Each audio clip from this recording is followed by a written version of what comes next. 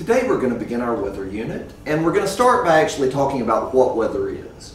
When we talk about this concept of weather, we're basically talking about conditions in the atmosphere at a particular time in a particular place.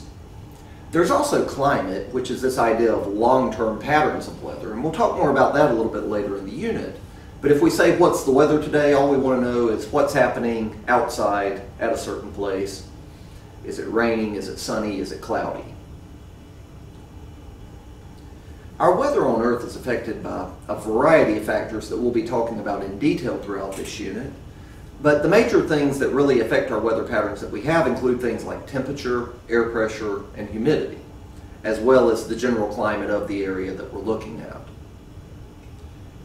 When we measure weather, there's all different factors that we can measure, and there's a variety of different tools that we can use to measure and record weather in our area.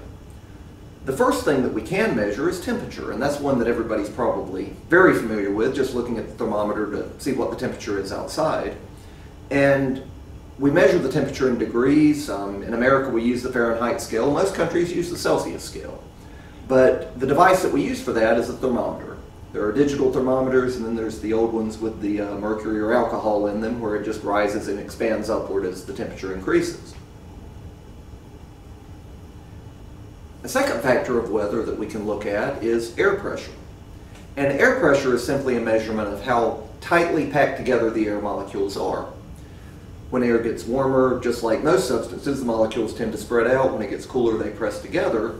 And that can be a good predictor of what sort of weather we might have on a given day. A barometer is the device that we actually use to do our air pressure measurements. Humidity measures the amount of moisture in the air. It's kind of that feeling of how wet or dry the air is. Sometimes you go outside and people will say it's very humid, meaning the air feels very wet against your skin.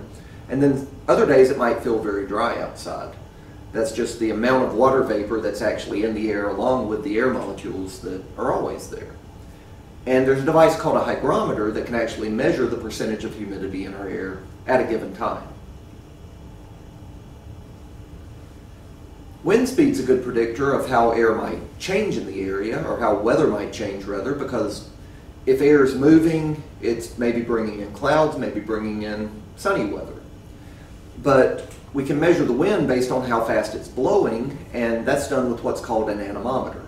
Basically, it's some cups that will spin around as the wind blows through them, and you can see by how fast they're spinning, you can actually determine how fast the wind is actually blowing at your location. Precipitation describes things like rainfall, snowfall, any type of water that's falling from the sky like we talked about when we studied the water cycle.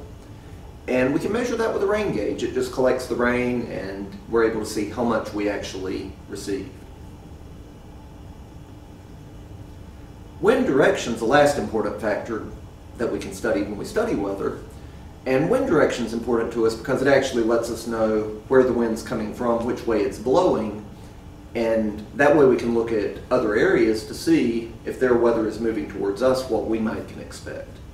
So over the next few lessons, we'll actually be looking at how we use these factors to really describe the weather and make predictions about what the weather might be in days and months to come.